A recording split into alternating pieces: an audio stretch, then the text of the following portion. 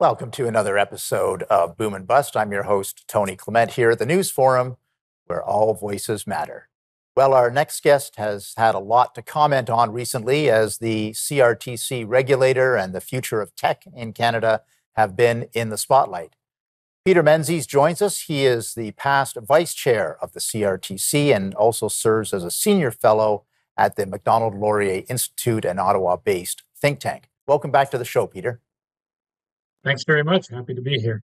I guess just to start us off, could you sort of describe the current challenges facing the CRTC?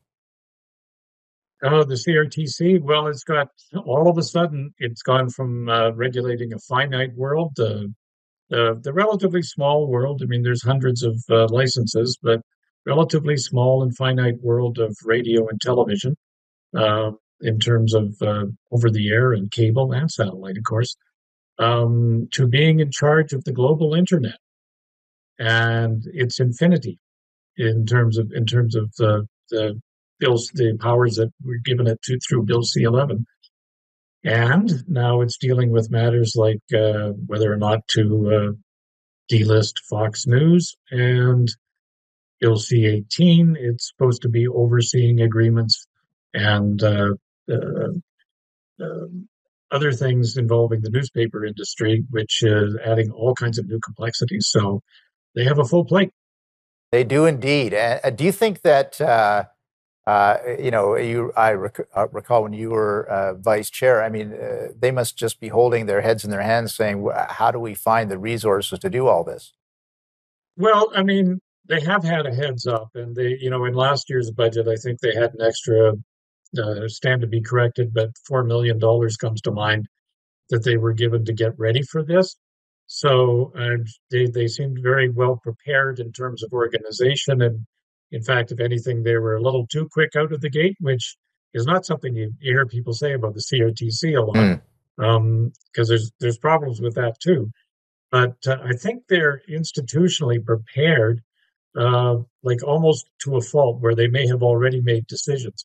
Interesting. Um, but in terms of once they get the process underway, the volume of material they have to deal with and the decisions they, they they're going to have to make, uh, I think it's going to be a real problem for them to try to meet the targets they've laid out, which is basically to have uh, a framework for under C11 in place by the end of 2024. I think that would be um, very surprising if they were able to meet that. Let's talk about uh, Bill C 18, the Online News Act, for a second. You did reference that as well. And obviously, we've got a power struggle going on right now between the tech giants and the federal government. So, what's your view on that? Is, is it winnable for any one side? And, and how is it going to affect uh, news in Canada?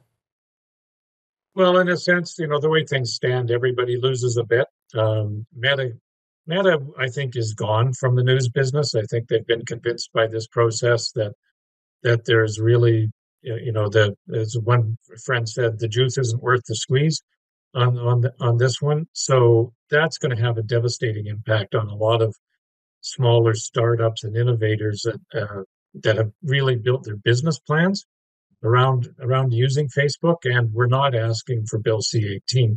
Um, for consumers, it's probably not going to be nearly as difficult. It'll be inconvenient.